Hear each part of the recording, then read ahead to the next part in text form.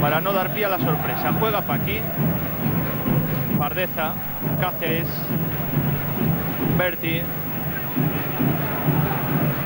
El apoyo en Pardeza, bueno el balón eh, para Higuera. Gol, gol, gol, gol, gol de Gustavo Poyet, el primero para Zaragoza.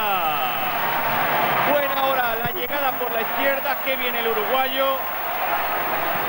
Muy bien el uruguayo, pero eh, excelente Higuera, que es el que se ha abierto y ha visto la jugada clarísima, va a, pasar al segundo palo, con lo cual la jugada es importantísima y una vez más se ha visto la calidad de Paquete Higuera, que es un jugador que el Zaragoza necesita ponerlo en forma y que esté en las alineaciones todos los domingos si queremos que el Zaragoza esté donde todos queremos que esté, ¿no? Peleando por, los, por todos los puestos de cabeza en las competiciones en las que juegue.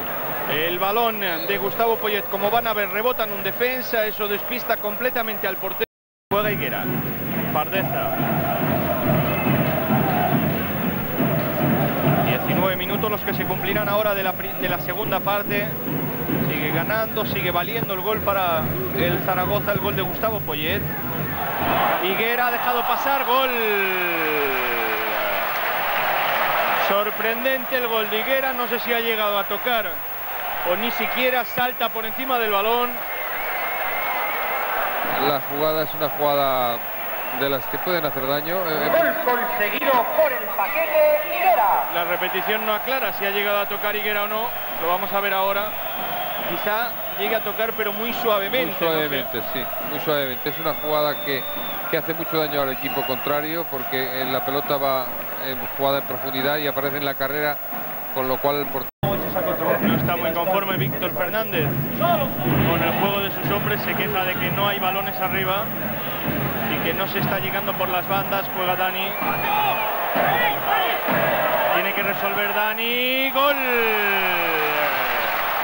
Golazo de Dani, la jugada individual del exjugador del Real Madrid, el chaval ha culminado como una estrella. Precioso el golazo de Dani. Ha sido una jugada muy bonita, ya ha sido la jugada bonita en, la iniciación, que ha sido un pase de gran profundidad que Dani ha sabido aguantar, que ha amagado bien y que le ha salido un disparo perfecto y ha sido un gol muy bonito.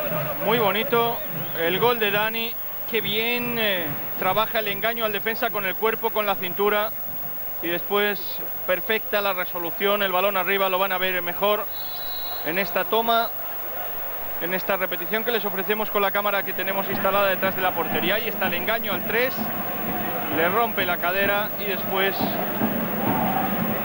el disparo arriba para que no pueda llegar Miroslav.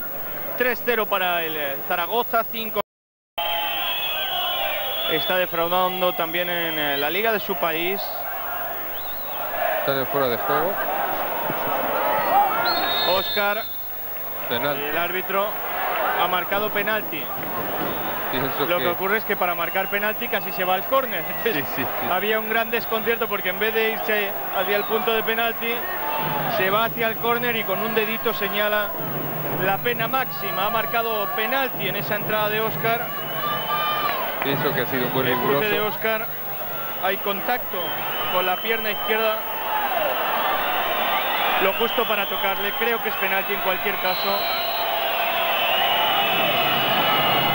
El disparo de Opsinic y de penalti llegó ese gol del que les hablábamos, el gol para el Inter de Bratislava, se desespera Juanmi porque estuvo a punto de llegar, ahí está, la jugada entre Oscar, Oscar se cruza por delante. Pero creo que toca el balón, ¿eh? Sí, bueno, una jugada para el comentario entre uno que llega muy forzado y el otro que llega tarde. Pero además en esa misma uno le toca y el otro ayuda para caer. En esa jugada hay dos